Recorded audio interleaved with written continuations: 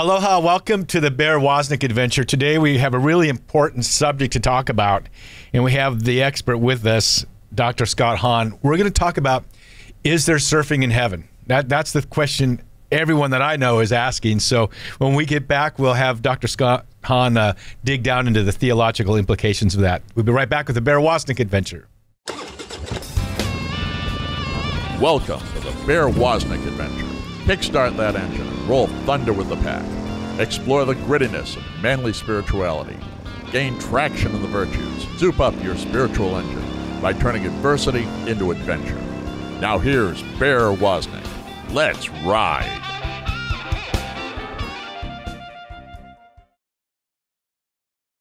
Aloha, welcome to the Bear Woznick adventure. I'm going to share with you a, a, an experience that I had that was the most ph- phenomenal experience I've ever had. Uh, I got a phone call that my mother was dying. I flew in that night from Hawaii to where they had moved to Minnesota. I brought leis, plumeria leis, tuberose leis, beautiful fragrant leis. Got to her hospital room and, and laid all these leis on her bed because they loved Hawaii. They lived here for many years. My dad was a deacon in the island of Molokai, you know, St. Marianne and St. Damian's Island, and he was a deacon in Maui. And now they ended up had ended up in Minnesota, I guess because of medical reasons. And uh, I brought all these leis. My mother loved the, the Hawaiian leis, draped her bed with them. And I remember early in the morning, just about sunrise the next day, I went into her room. We were taking turns, and there was a moment when she was by herself. And then I went into her room and I opened up the curtains and it was just the beginning of that that first um, kind of glint of sunlight. And uh, everyone else came in then too, and I saw suddenly a bald eagle flew towards her room. Now my mother and father's home on the north shore of Minnesota before they moved to Maui was called Eagles Rest. And uh, it was where my dad held uh, retreats for presidents of businesses, ca- Catholic retreats for presidents of businesses. And uh, the only way you could get there was by following the, the flight of the eagle through these backwoods, you know, the dirt roads with no signs. Whichever way the eagle was pointing, that was the fork in the road that you took. And they, their name was Eagles Rest. You know, those that wait upon the Lord shall renew their strength. They shall mount up with wings as eagles. And it was their, their favorite song was "Wind Beneath uh, uh My Wings" by uh, Israel Kamakawiwo'ole, his version of it anyway. And when he was ordained deacon, that was their song that they sung. So an eagle was very important to to them. And as I opened the curtains, the rest, the whole rest of the family gathered about that same moment. And this bald eagle flew towards her room from across the the river. I think it was the Mississippi River down below. And the river and the eagle came and kind of flew and then came back across her window again and then flew within about 20 feet of a window and then took off. And from that moment, I noticed my mother's breath totally changed. It went to that, you know, that certain breath that people have when they're dying. And she had, she had been unconscious for eight days. My mother had had a stroke 20 years earlier, so she had very much difficulty communicating and speaking. And everyone in the room knew my mother was about to go. And her breath shallowed and shallowed. And then she took three last breaths. And then this is what she said Oh, oh, oh. And then she breathed her last as she entered, you know, into glory. And it was like, there's no doubt in any one of our minds that she had seen the beatific vision, that she had seen uh, heaven. And uh, I couldn't shed a tear of sorrow because I was so thrilled where my mom was. And now my dad is a, who's a, who is 92 years old. I recently sent him this beautiful book by Dr. Scott Hahn, Hope to Die. I took the cover off, Dr. Hahn, so I didn't mess it up when I read it. Sent my dad this book, Hope to Die: The Christian Meaning of Death and the Resurrection of the Body. Dr. Scott Hahn is here with us. He's the Father Michael Scanlon Professor of Biblical Theology, which uh, at, at uh, Franciscan University, where I keep trying to work my way towards a master's degree online and uh, of course is the founder and president of the St. Paul Center. Dr. Hahn, welcome to our show. It's such a joy to be with you, Bear, and thank you for the invitation. Well, your book, um, the the Lamb's Supper. I had I had been a charismatic Catholic and I had been under catechized and I just wanted to go deeper with God and I ended up drifting from the church not because I not for any negative reasons I just wanted to go deeper and I didn't have that I didn't know how to go deeper other than with my Protestant friends but my dad sent me the book this book called The Lamb's Supper uh, and I thought, you know what? Very definitely, the Eucharist is the body, blood, soul, and divinity of Jesus Christ. I became convinced of that through your book, but I still kind of was wandering. And then I read Stephen Ray's book, Crossing the Tiber, and that was it. I came roaring back. But I want to, I want to ask you, and so thank you for your personal role in my returning to the church. But I wanted to ask you, what happened to my, what happened to my mom at that moment? What what happened next? Well, one thing we do know for sure, and that is that those who die in a state of grace enter into the presence of God. Now, it might be a preparatory phase for many souls. We call it purgatory, but you enter into that with the certainty that you are destined to see the face of God forever and ever.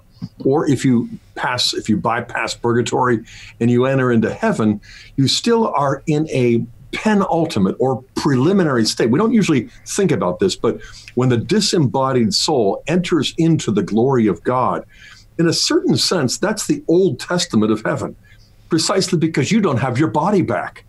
And so the fullness of glory occurs at the eschaton with the general resurrection, when all of us basically catch up to Jesus and Mary by getting not just our bodies back in a resuscitated form, but getting our bodies back in a way that is truly transfigured, divinized, and glorified in such a way that it goes beyond our wildest dreams. Our highest hopes will be surpassed when we enter into that glory in a fully embodied way. And that's really what this book, Hope to Die, is about. And that's why you may have picked up on the kind of line of God's own love. The, the line of the logic of God's love is what connects the Lamb's Supper to Hope to Die. The Lamb's Supper was subtitled The Mass is Heaven on Earth. Mm-hmm. It's the catapult whereby we receive the resurrected body of Jesus in the Holy Eucharist in order to set into motion a chain of transformations that goes beyond simply changing bread and wine into Christ's real presence.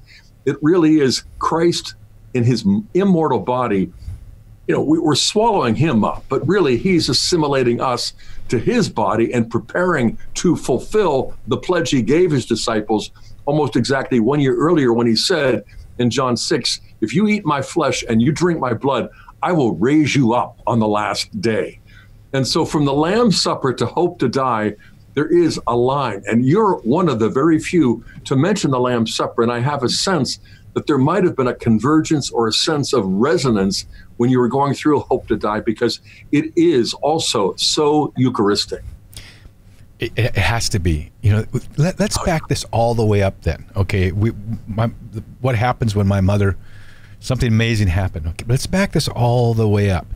Uh, let's back this all the way up to just before Jesus died on the cross. Where was Abraham? Well, we speak in Luke's gospel, where we read of Abraham's bosom, and that was already commonplace in the intertestamental period. So, Second Temple Jews believed in a place that they would call Sheol. Now, Sheol usually gets translated Hades into the Greek, but Hades is not the same as hell. That's the reality that Jesus refers to as Gehenna. So Sheol in the Hebrew, Hades in the Greek, is basically translated into purgatorio because it is a place of preparation. It is a place of purgation. You have the certainty of heaven in Sheol, so Abraham did. But at the same time, you are in a netherworld. You are in a shadowy realm. Now, some of those might be going through a punitive and painful purification. I doubt very much if Abraham was. But the fact is, all of the Old Testament shows us heaven, but it took a rabbi to kind of show me the obvious. Hiding in plain view was the, the plain and simple fact, and Rabbi Berman is the one who put it out to me that heaven in the Old Testament, in the Hebrew Bible, is only and always occupied by angels, period. There are no saints in heaven in the Old Testament. And so at the moment that Jesus is preparing to die, his body and soul will be obviously separated because his death is real. But his soul is going to descend into the netherworld, into Hades, into Abraham's bosom, into Sheol, in a triumphant act of deliverance. And so Paul refers to this in Ephesians when he speaks of leading captivity captive, descending and then ascending into heaven. For what reason? Basically, to repopulate heaven. So as you move from the book of, you know, I should mention one thing that in the book of Daniel, Rabbi Berman points out that you do have the sole exception because there in Daniel 7, you do have a vision of the saints of the Most High entering heaven and receiving the kingdom of the Most High, the kingdom of God. But that's the exception that proves the rule because that's the climax of the vision of Daniel 7, mm-hmm. where you see the Son of Man coming on the clouds of heaven to the Ancient of Days to receive this kingdom. And then he turns around and gives it to the saints of the Most High. So here's the Son of Man on the cross, being lifted up to, to be glorified, but then to descend in triumph to deliver all of the souls of the faithful departed of the Old Testament into the glorious presence of heaven. So, you know, Abraham was the one who sort of leads the way as the, the founding father, our, our, our spiritual father. That's why it's referred to as Abraham's bosom. And so that moment is so much more significant than most homilists ever give credit. And it's not just the moment of his final breath, but also the moment when his soul descends into Hades in a way that is truly glorious, hidden, mysterious, invisible, but triumphant. Well, we're going to talk more with Dr. Scott Hahn about his new book, Hope to Die, which I don't usually say. Let me, someone wrote a book on I have on my show. We have guests that we really want to get to know. This is just my excuse to have Dr. Hahn on my show. We're going to talk more about that. What happened? What were those? They saw. They said they saw people who had died before walking around and things like that. What's the difference between uh, dying and your soul going to heaven, and and is there such a thing as your body being resurrected? We'll be right back, Dr. Scott Hahn. If people want to find you, what's the best place to track down your ministry? Well, for the last 20 years, we have this thing called the St. Paul Center. So I would say just go to stpaulcenter.com. You'll see all of my books, my talks, and many other resources as well.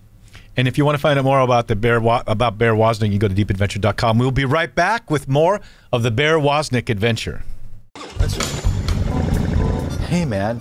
I don't want you to miss out on your free stuff at deepadventure.com. Go there and subscribe to our weekly email newsletter. You get free video content, including the Bear Woznick radio show, video version on YouTube before it even airs on EWTN. And you can follow us on all of our social media. Go to deepadventure.com and subscribe. Get your free stuff.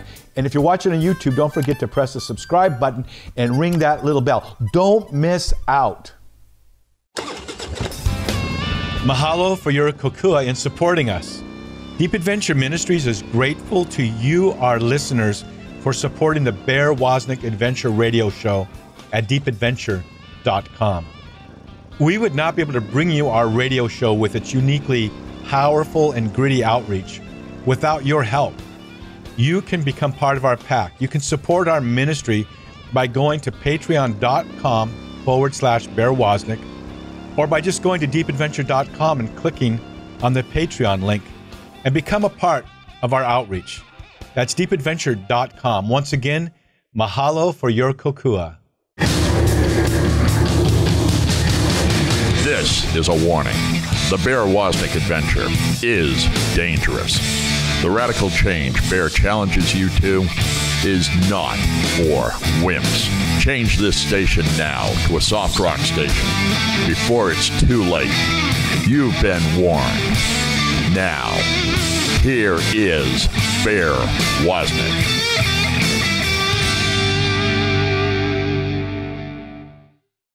Aloha, welcome to the Bear Woznick adventure. You know, we believe at Deep Adventure Ministries that the most radical thing you can do in life is abandon yourself to the wild adventure of God's will. And I've had men come to me and say, you know, I, I see you're skydiver, black belt, all this kind of running with the bulls. I'm torn between adventure and and and, and uh, you know taking care of my family. I mean, I have this pull, and I go, dude, the most exciting thing you can do in life is bring an eternal being into existence to be a father and a husband, there can be no greater adventure. There can be nothing more challenging to, than to will the true good for your family and lay down your life for them. But when you have a child, that's an eternal being. We're talking with Dr. Scott Hahn about where what happens with this eternal being. We live forever. Do we live in heaven? Do we live in hell? What what what is what what what is that question no one wants to ask? What's that step just beyond the grave? So, Dr. Hahn I have another question. I want to go back to where we were. and that question is uh, on the cross, the two other prisoners. Jesus, one of them believed and said, Jesus, remember, remember me when you come into your kingdom. What happened to that? That uh, well, there was one that denied him. What were the two potential places those people met? Those two men ended up on that at that moment. Well, we do know from Jesus' own words, "Today you'll be with me in paradise," that this penitent thief was transported to a place that went beyond his wildest dreams you might say, wow, you know, it's almost a Protestant view of salvation where he exercises faith alone and performs no good works. But if you look at Luke's account, you're going to see that in about two or three minutes, it must have been, he confesses his own sin, the fact that he's worthy of death. He rebukes his fellow thief who is blaspheming our Lord. He confesses his faith in Jesus to be the Christ and the King remember me when you're coming into your kingdom. He does more good works in maybe two or three minutes than most of us do in two or three months. and so he is ushered into the glory for which he was made. And, you know, at the same time, he did what Fulton Sheen once said his final act of theft was to steal heaven. So Fulton Sheen. So, we went to paradise, that would have been probably Abraham's bosom he, he, was you know com, you know and then and so this this is the, the confusion a lot of people have. I know i did. Reading not understanding the greek and and that. The concept that when jesus died he descended into hell. You know the the, the word hell is the, the meaning of that word has changed over the years over the centuries uh, our, our understanding of that the usage of it. But did he actually he didn't go down into the realm of the devil no, that's right. He, he didn't go into the realm of the damned. He didn't experience the torment of the damned.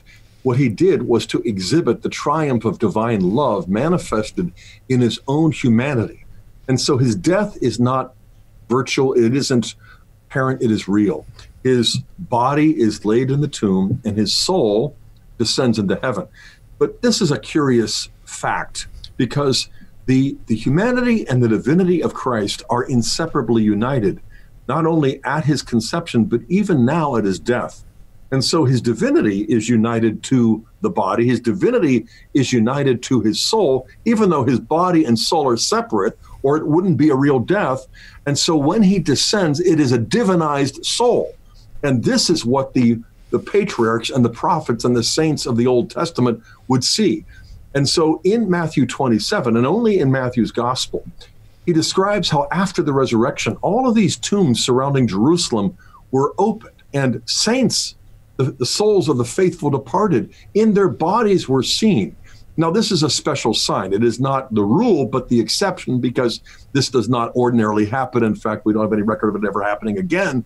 But it happened at the most decisive point, precisely the hinge of salvation history, where mm. everything turned from the old to the new.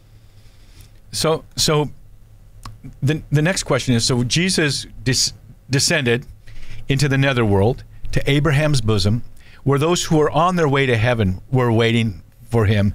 Can you imagine the excitement they must have? I wonder if the herald angels who spoke to the shepherds, if the ones in Abraham's bosom had that sense that he's coming, he's going to be here any day, any moment.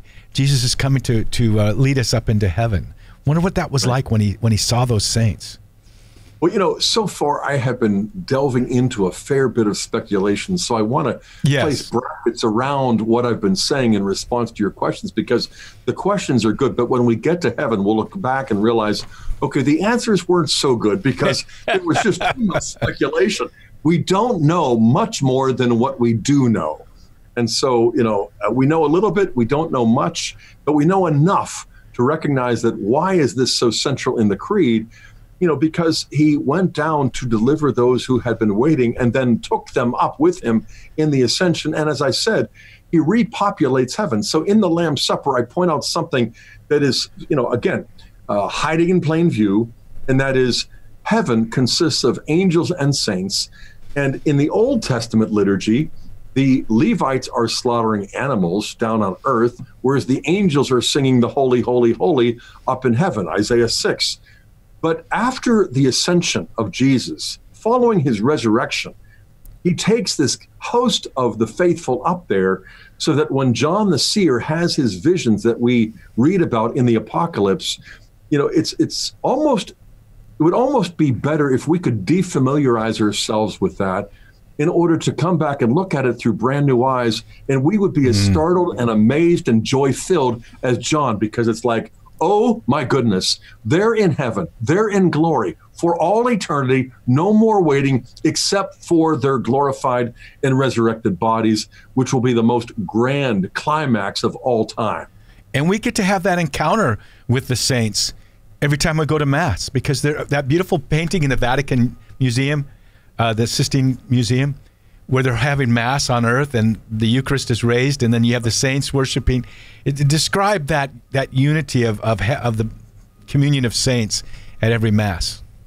Well, first of all, let me back up. And since you know you're my conversation partner, I am going to say that as the wave of death overtakes us, we're going to enter into a glory that will make your surfing look pale in comparison.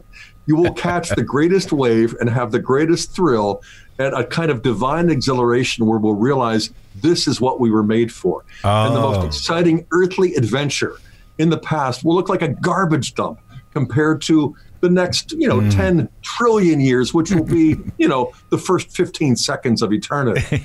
yeah. Now, the other thing, too, I, I think of you and, you know, the, the, the different kinds of pilgrimages you've gone on, you know, in terms of motorcycling. And it's been a long time since I rode a cycle. But I tell you, I, I think the power of the engine of God, the Holy mm. Spirit will transport us with a speed that will thrill us, again, beyond anything we have ever known on earth. And this is going to be heaven forever. And I, I think people are going to hear me and say, wow, you know, that's a little exaggerated. That's solely, that's sort of like holy hyperbole. I can't assure possibly, you, you, not. can't possibly be more hyperbolic is- about that. That's right. When you get to heaven, you're going to enter not only into a unity with God, where you will see God and know God and love God as He loves us and knows us, but because He's an Almighty Father, guess what? It's going to be a family reunion that will make the happiest vacation like nothing in comparison. And and you'll look back, and everybody who hears my words will realize that once again, Hahn's words fell flat on their face. He wasn't exaggerating. He was grossly understating the joy. And we need to recover this now, hmm. perhaps more than any point in our own life experience, at any point in recent history. Right. Because we not only fa- we, we not only face this cultural crisis, you know, we face the pandemic, we face the crises within the church as well. And the church in heaven is not a different denomination than ours. There's one church, and it's Catholic, not just global.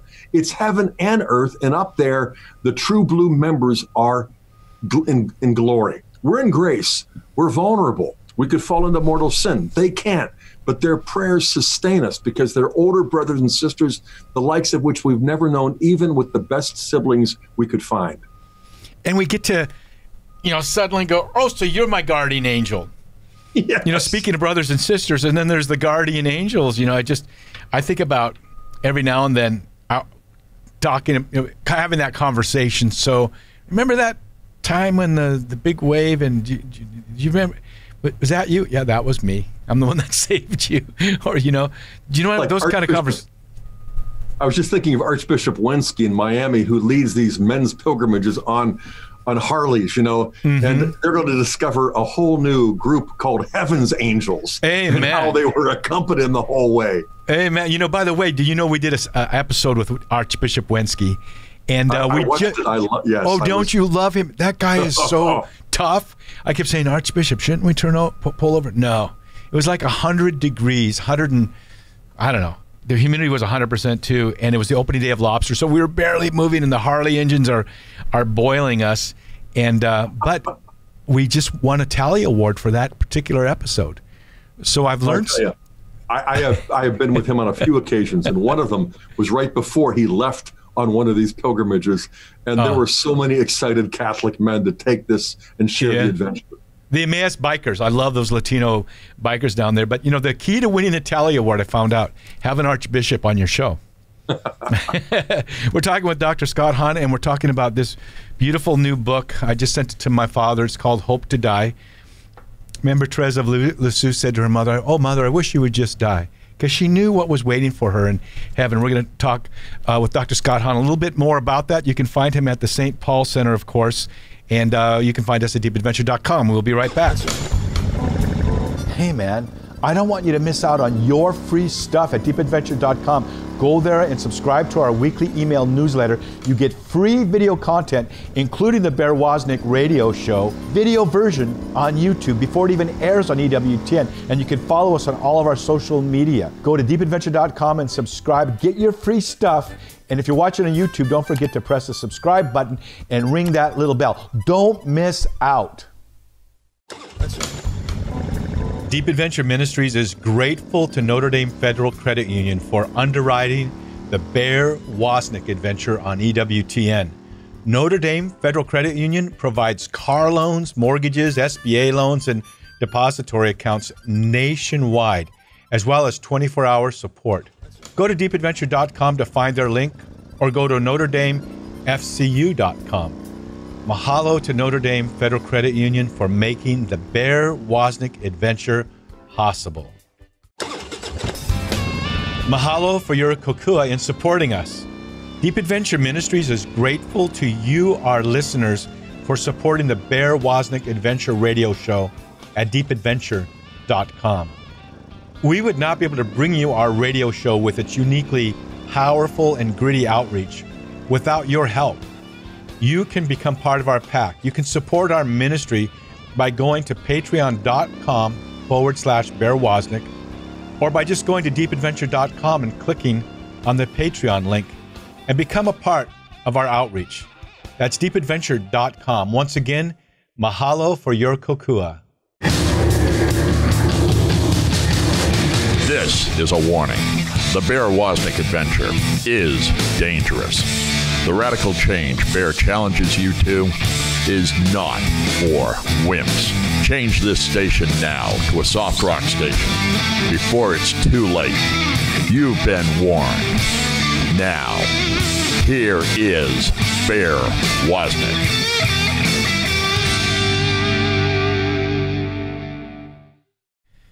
Aloha, welcome back to the Bear Woznick Adventure. My son Jeremiah uh, just moved back to Hawaii, and this is a recorded show. We're still during that time of quarantine, or we call him Darling Quarantine. When he came back, he stayed at our house for a couple weeks, looking at perfect surf. Uh, he's the one that towed into 85 foot waves, and uh, by my friend Crazy Todd on the biggest day, one of the biggest days in 50 years. Uh, and it naturally brings you. He ta- starts talking about you see the face of God, or you know you're in God's hands and so we started talking about what happens when you die. And one of the questions is that he had, and I said, I'm going to ask you, is uh, when you die, the, you know, the, the, we talk about the first judgment, the second judgment. Uh, you die, but you're you just you're still in your soul. You don't have your body. Well, what happens uh, when when when someone dies? What happens next? Is there you know you know what I'm saying? It's put it on a man once to live, once to die, and then the judgment. And then when do we, if we make if we're in heaven when do we get our bodies and we're resurrected bodies or do we and all that kind of stuff. Okay. So i'm going to again step out in terms of you know orthodox faithful catholic speculation. But before i do i've got to ask you how old is your jeremiah? Oh he's 39 i believe. Okay. So i've got a jeremiah too who's only oh, really? 28 but he was oh. just ordained earlier this month to the transitional diaconate. He Pray. and our other son Joe are both studying for the priesthood for the Steubenville diocese. Can you so imagine? six kids, oh. one daughter, and five sons, or as I say, one rose and five thorns. We've also got 19 grandkids from the first. I three. want some of those. I, I don't you. have any yet. He, I think, oh, I think they're yeah. about to. He just got married recently, so I think. Believe me, the best is the best is yet to come. I mean, I share with you the great adventure of fatherhood. Nothing in my whole life has been as fulfilling as fathering. I mean, uh, if you take everything else and combine them, the cumulative effect, I think, would fall short of the satisfaction, the joy, and the gratitude of fathering six kids who are now ranging from age 38 down to 20. He's about to turn 21. Our oldest son, Dr. Hahn the Younger, is now a professor of younger. scripture. yes, he's a professor of scripture at Mount St. Mary's Seminary. Wow. But nothing has been more frustrating to me than fathering too. I mean, it is the most fulfilling experience of my life. Nothing has made me feel more inadequate. So I want to speak to our brothers in Christ and say, hey, look, you're not talking or listening to uh, two perfect dads. You know, I am so flawed. I have failed so many times. God the Father has given me what I needed, but even more, He's made up for what I lacked because I told my kids, ultimately, God is your Father, heaven is mm. your home, and I want to work mm. myself out of a job and become your brother in Christ. But So- I, I, I do remember that moment, Father. I mean, Father Scott, Doctor Scott. Your two sons are going to be fathers. No, I do remember that moment in social studies class after lunch when you're kind of falling asleep. Just the most boring class in high school.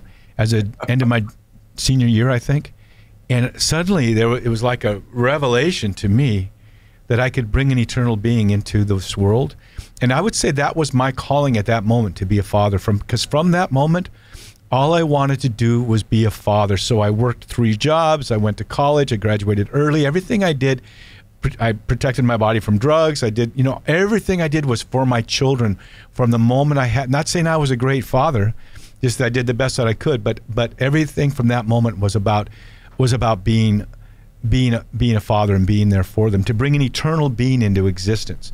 So Yeah, you know, Mm-hmm. just to build on that, I, the, we call it holy matrimony because when you seal that covenant physically, there is nothing else you do with your physical body and hers in sealing the covenant and renewing it that makes us more like the Lord God. When the two became one, the one we became, nine months later, we had to come up with a name because our firstborn son was the incarnation of our love. And our life giving love was embodied and it was like, wow, this is why it's so holy. This is why our world doesn't get it. When they say we're hung up on sex, no. Listen, you guys who want to just reduce it to a passing pleasure, you guys are jaded and addicted. But I tell you, God has a better plan in store. But get back to Jeremiah's question. And that yeah, is, let's talk about you know, what happens between this and the yeah. Yeah. You know, I would step out on a limb here, but I would speculate that, you know, every sin that we commit is a personal sin, but it's also a social consequence. Everything that we do that is righteous is not just an isolated private thing, it radiates, it emanates out and benefits other people. So, what I would say is this that when we die, before we get our resurrected bodies in the end, we immediately are confronted with the verdict. Are we going to be saved in glory forever? And even if we pass into purgatory, where we'll experience the certainty of salvation and a joy like we've never known, we'll also experience the pain that will purify us, that will be greater and more painful than any pain we've ever had on earth. And so we ought to remember the dead and pray for them and not presume upon them, but say masses and sacrifice and that sort of thing, which I get a, a whole chapter in my book, Hope to Die, about that. But then, you know, when we die, the good that we did is still radiating outward. The good consequences are going to emanate not only in our kids, but our grandkids and beyond. And unfortunately, the evil that we did, even though we confessed it and did penance for it, we're also going to see the negative consequences as well. But only at the end of history, when it is appropriate, when it is totally fitting, because only then will the ripple effect be completed. At mm. that moment, at the end of history, we're going to see God as our Father and realize that my life and Barry, your life, these lives have been scripted like so many stories. And then suddenly we're going to realize these aren't stories. This is one story scripted by a loving Father who has caused his sons and daughters to achieve the good by reproducing in us Jesus, his Son, so that the little things we did are going to have compounded interest. They're going to be multiplied exponentially precisely because we're united to body to the body of Christ as members of Christ's body. So we're going to find out all the good that was done by Christ through the Holy Spirit, but in us and through us and our loved ones forever until the end. And when we get our resurrected bodies back, we're going to be able to not only look at God, but look at each other and enter into a communion with with these other saints. I mean, you're going to meet people and have friendships and relations And you're going to know your wife. If she makes it to heaven, you're going to have a greater love than ever before. And, and all of this, again, is going to be multiplied exponentially when our bodies come back, when we get our. And when does that happen? How, when does so so so at the end of time, there's a judgment, which I think you've just you. Is there anything anything more to say about that? And then there's this moment when we receive our resurrected bodies. Yeah, there's a particular judgment for individuals at the moment of death, and then there is a general judgment at the end. And theologians usually leave it in the realm of the abstract, but I would say the, the personal judgment gives us the assurance that we are, you know, it gives us the final verdict. And so we enter into this joy, even if we do have pain to endure. Mm-hmm. But the general judgment is not just some generic thing, it is going to be a communal thing where suddenly we're going to be shown the communal effects of all of the good that we've done in spite of my weakness, but because of the power of the Holy Spirit.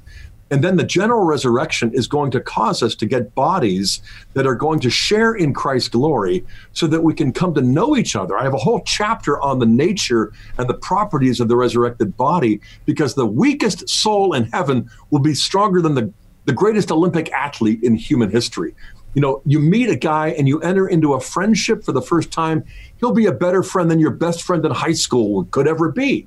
And again, this is not like exaggerated, puffed up rhetoric. This is what follows from I believe in God the Father Almighty, and I believe in the resurrection of the body and the life everlasting. It isn't just quantitatively everlasting. It is qualitatively eternal and off the flippin' charts. Didn't Thomas Aquinas have a little bit to say about what our bodies would be like? What you know, is Scott Hahn going to have a, a, beard in heaven? Uh, by the way, I'm wondering. But uh, you know, what, what, you know, he had something to say about what the nature of our bodies would be in in heaven. That's right. I mean, he's building upon Jesus and Saint Paul in Corinthians 15. He's also building extensively on Saint Augustine and the previous fathers and doctors of the church. But Aquinas distills perhaps better than anybody else in the 13th century and in this one part of the Summa, the various conditions of the body and the properties. All people are going to get their bodies back.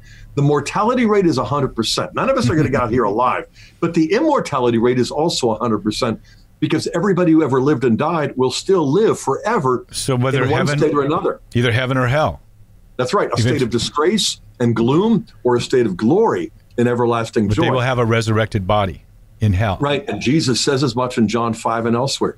So the bodies that are damned and blessed are going to share the fact that they're going to be the same body that we had, only transformed. So it will be at, we speak of integrity, it'll be in its wholeness. So if you lost, lost an arm, you get it back. Likewise, it's identity. That is, what about my male, broken heart? What about my broken heart from the girl in high school? Like get my heart fixed? I'm just kidding. I'm no sorry. more tears, no more broken heart. You'll see her and realize why I'm just God kidding. was I'm so kidding. I'm just kidding. I know you are. There isn't even her. Okay. So you, you have identity. It's the same body. You have integrity. You get mm. your arm back or whatever. But you also have this condition known as quality that you are at your peak. You know, the medievals speculated at 33 years of age, we're at your peak because that's how Jesus, that's how old he was when he died. That's speculative, and they know that. But the four properties of the bodies that are resurrected to glory, I mean, this is what we can't wait for. Well, let, us take a break because that's Okay. a good spot. We're going to get into those four properties. We're with Dr. Scott Hahn. He, he, he speaks at about 60 miles an hour, but gusts to about 120, which is about the same pace I do. We'll be right back with more of the Bear Woznick adventure. Deep Adventure Ministries is grateful to Notre Dame Federal Credit Union for underwriting the Bear Woznick adventure on EWTN. Notre Dame Federal Credit Union provides car loans, mortgages, SBA loans, and depository accounts nationwide, as well as 24 hour support. Go to deepadventure.com to find their link or go to NotreDameFCU.com. Mahalo to Notre Dame Federal Credit Union for making the Bear Woznick adventure possible.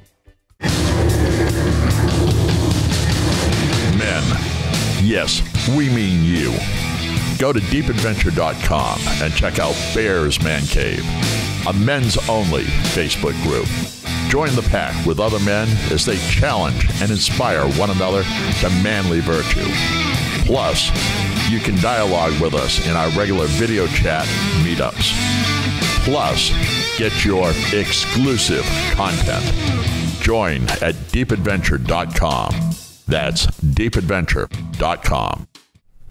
Aloha, welcome back to the Bear Woznick Adventure. We have Dr. Scott Hahn with us. His new book, Hope to Die The Christian Meaning of Death and the Resurrection of the Body. And we're talking about what the nature of the body will be uh, in heaven. We maybe talk a little bit about maybe in hell too, but let's talk about the four properties that you were going to bring up.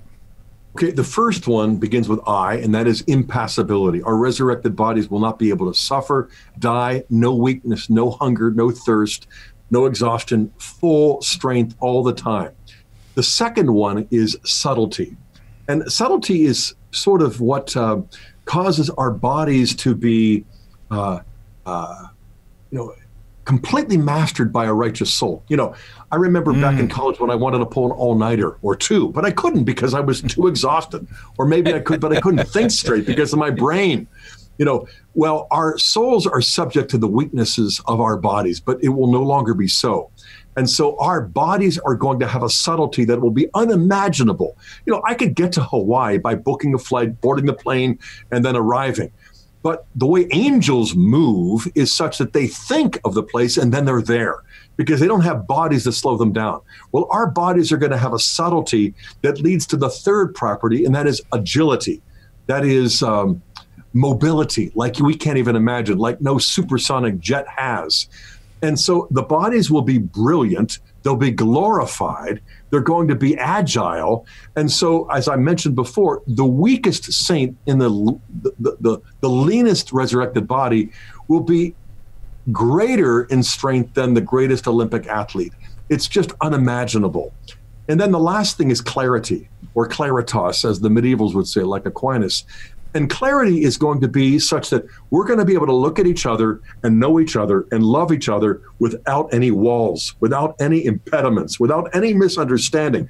Not just God. First and foremost, we're going to look at God and He's going to see us and show us to ourselves and how much His love has made us so holy. But at the same time, we're going to have the clarity of our resurrected bodies so that I will look at a total stranger and come to know them better than I could understand my wife on certain evenings, you know? And she sometimes says, Scott, you're opaque. I can't read you. What are you feeling? In heaven, we're going to enter into this joyful translucence where we're going to know each other as sons and daughters of God and brothers and sisters in Christ. It will make the happiest family reunion look like a garbage dump in comparison because this is who we are. This isn't plan B. This is what God the Father Almighty intended from the beginning. And so for us to go back, you know, and see in Genesis 2 that God breathed into Adam's nostrils the breath of life, and that's how he became a living being. So when he said, You can eat from any tree except the forbidden fruit, and the day you eat of that, you'll surely die. When they ate in chapter three, they didn't drop dead physically, but they committed spiritual suicide. They basically snuffed out the life of God in their soul. The Trinity was basically gone. And so this is why original sin for us as Catholics is not being born depraved as it had been for me as a Calvinist, but it mm. is being born deprived of divine life mm. because that's what our first parents forfeited. So to get that back from Christ, that's why Paul calls him the new Adam, the last Adam. This is why the Blessed Virgin is Mary. She's the new Eve because there at the foot of the cross, when he gives up his breath, he's not simply breathing his last, he's making his breath, the Holy Spirit, the gift of life, life giving love to make Mary, who is there giving consent to her son's total sacrifice. She is endowed with the power of the Spirit, the breath, the water, which becomes baptismal, the blood that flows from his pierced side. That's Eucharistic. It's like if we could see what our guardian angels see at the foot of the cross, our, our, our hearts would melt, our brains would explode, because this is the moment when life is restored to us. So when we are baptized, as Paul says in Romans 6, we are rejoined, reunited to Christ. We are resurrected more than Lazarus was after four days because he just got his physical body back. That's a resuscitation. But when Jesus is resurrected, basically that humanity of his is divinized it's made by the power of the Spirit communicable. When we eat that holy body, blood, soul, and divinity, we don't just eat it like a burger and fries and assimilate it to our body. No, He consumes us and unites our mortal flesh to His immortal flesh so as to set up our resurrected so that we will be transfigured and glorified. We're not just going to get our bodies back. The divine life that has been restored to our souls now is more valuable than the physical life we will lose. It's also more vulnerable than our physical life because to commit a mortal sin is to basically repeat our first parent's failure mm. and to commit spiritual suicide. We've got to fall in love with God and His life in our souls and our loved ones so that we don't reduce it to human rights or freedom to commit mortal sin. We understand that that is extraordinarily stupid and self destructive for ourselves and our fellow citizens. And we want to rebuild a culture or a civilization of love accordingly. But I mean, this is simply blowing off the dust from these stones we call the mm. 12 Articles of the Creed. And we realize why St. Ambrose called them these are precious gems. Amen. The, the, the hope diamond, the pearl of great price. I believe in God the Father Almighty. It can't get any better than this, and it's even better than my words can express. Well, we really wish you would make your point more clear. I mean, what side do you stand on? I don't feel strongly about any of this stuff.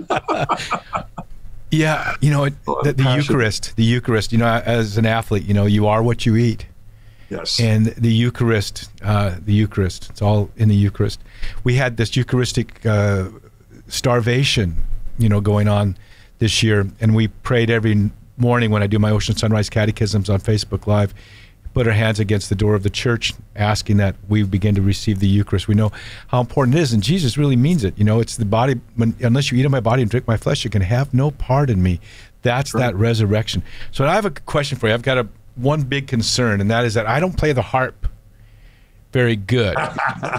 so, I mean, like, am I going to be relegated way to the back, or what? What am I going to be doing when I get to heaven?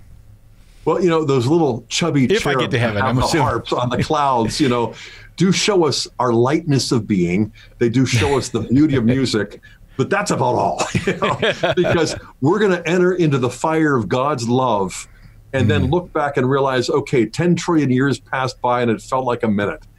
And I mean, if time flies like you're, you know, if time flies when you're having fun, you know, we're going to enter into, into eternity in a way that is just mind blowing, heart blowing too. You know, you just mentioned this pandemic and the quarantine and all of that you know, I, I had one of the most comforting or, you know, this conversation with my daughter several weeks ago that brought such consolation because she's a faithful Catholic, but she's a full time mom with four kids, busy, exhausted. And she said to me about two months into this pandemic, after she had not gone to Mass for that entire time, she's like, Dad, I never realized how much I took the Mass for granted. Mm-hmm. And then she said, I find myself hungering for Holy Communion in a whole new way. And I'm like, well, first of all, you have blessed your dad more than you could ever know. Second of all, you have echoed, I hope, what millions of other Catholics are thinking and feeling and longing for. And so, you know, it reminds me of that old song back in the 70s, Joni Mitchell's big yellow taxi. You don't know what you've got till it's gone. Exactly. And now that we're coming back, it's like, oh Lord, help us to make up for lost time. Forgive us for taking so much grace for granted. Well, when I, you know, in Hawaii we have a saying, kuleana. It means your your kuleana, your responsibility, your stewardship. It's more than that. It's almost a sense of ownership of the role, the the jobs God's given you in life. Will I have kuleana in heaven? Will I have a mission in heaven? Will I what, what, what will I have a purpose? Will I be doing things, or will I be just be playing the harp on the fifth row? Maybe the five millionth row. Well, you know, it sounds like kuleana is just another word for covenant. And mm. we're going to enter into not just a renewal of the covenant, but the consummation of the covenant. Our mission is to love the Lord our God with all of our heart, mind, soul, and strength, and our neighbor as ourself for the love of God who is our Father. And so I can assure you that Kuleana is going to be on steroids for eternity. you know, and once again, you know, I thought he was exaggerating. No, he was actually understating. this is beyond Kuleana, you know. But I mean, this reminds me too of why it is the Eucharist is so crucial. You know, the Eucharist was instituted by our Lord using his own body, transforming the bread into his body. And that's what caused his death to be more than just another Roman execution. Because if the Eucharist is just a meal, then Calvary is just an execution. But only if the Eucharist is the Passover of the new Lamb, the new covenant, does that you, does that execution become the consummation of the sacrifice, precisely because he's not losing his life like every other victim of this Roman torture. He made his life a gift of love when he instituted the Eucharist as where the sacrifice was initiated. that sacrifice is consummated at Calvary. So the execution is not only transformed into a sacrifice, but Easter Sunday is what transforms that sacrifice into a sacrament, the blessed sacrament, because when we profess our faith in the real presence of Christ's body, it's the same body that was in the upper room, the same body that was hanging on the cross, the same body that was buried in the tomb, but the precise form of his body in the Holy Eucharist is the resurrected, the divinized, the glorified, the ascended, the enthroned body of the King of Kings and the Lord of Lords. And again, our guardian angels would say, well, yeah, duh. but I, what we got to see that the resurrection was ordered for the Eucharist. It was to make Christ's humanity not only divinized for himself, but communicable to us so that we could enter into the glory. He took what is ours, mortal human nature, to give us what is his, divine glory. And it's like, whoa, okay. These articles of the creed have a cumulative effect that make me think that we have not professed it too little, but we have contemplated. We have not professed it too much, but we have contemplated it too little. We're this talking. Faith, we're oh, talking with Dr. Scott. I'm sorry, sorry Dr. Hahn. We've run out of time, but uh, you, you, Elise Claro, you know, thank you so much for your time with us, and I hope that maybe you'll think about coming back and joining us again so we can finish that. Last, we can finish the rest of what you were saying. It's a real horrible thing to have the responsibility cut off, Doctor. Um, uh, Dr. Hahn, where people can find you? Where? What's the best place for them to find find you? Well, I, I, I, have a public page on Facebook, Scott Hahn. I also have scotthahn.com, but most especially the apostolate that Kimberly and I established 20 years ago is called the St. Paul Center. So go to stpaulcenter.com. Saint is S-T, paulcenter.com, and you'll find all kinds of resources, beginner, intermediate, advanced, biblical literacy for our uh, laity and biblical fluency for our clergy and our educators, reading the Bible from the heart of the church. And I love St. Paul. I spent I've yeah. spent years just studying. Hey, we got to go. So I got to we got to take a break. Till next week, you guys. Uh, this is the Bear Woznick Adventure. You can find us at deepadventure.com. May the breath of the Holy Spirit aloha you. Aloha. Hey, man. I don't want you to miss out on your free stuff at deepadventure.com. Go there and subscribe to our weekly email newsletter. You get free video content, including the Bear Woznick radio show, video version on YouTube before it even airs on EWTN. And you can follow us on all of our social media. Go to deepadventure.com and subscribe. Get your free stuff. And if you're watching on YouTube, don't forget to press the subscribe button and ring that little bell. Don't miss out.